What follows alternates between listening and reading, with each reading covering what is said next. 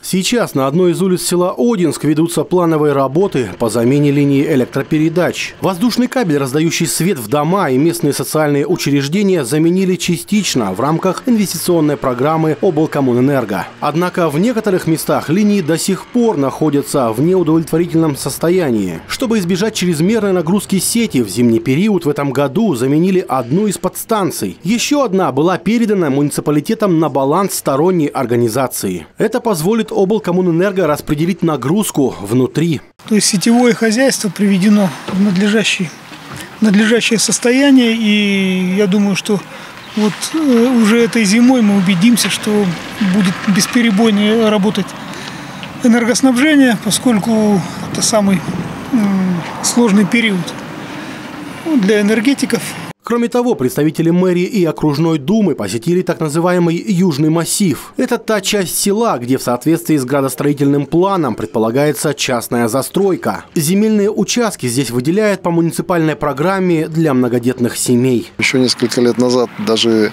когда только был разговор о пресловутой южной застройке и о выделении земель для э, многодетных семей, а, сам факт того, что было принято тогда решение, оказался некой победой. А, затем выяснилось, что эта победа такая сильно предварительная, поскольку это требует очень серьезных усилий по а, подготовительным работам. Одна из проблем, с которой столкнулись будущие жильцы, это доступность территории. Сейчас здесь нет подъездных путей. Обновить дорожное покрытие в Одинске планируют в три этапа. В первую очередь ремонт проведут на улицах Иркутская, Полевая и Степная. Встречались с инициативной группой и распределили очереди совместно.